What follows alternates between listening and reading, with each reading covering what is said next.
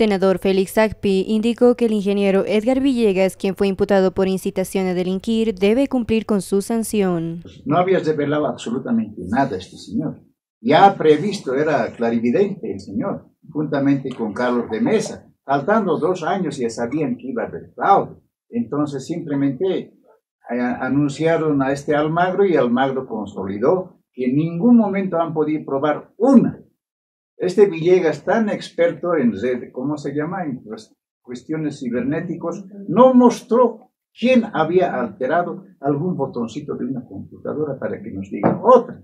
Simplemente hablaron y hablaron como hasta hoy en día siguen hablando y por lo tanto, por mentiroso ha causado problemas constitucionales en el país, tiene que ser procesado y sancionado como corresponde, que ningún aventurero puede dañar la imagen del pueblo.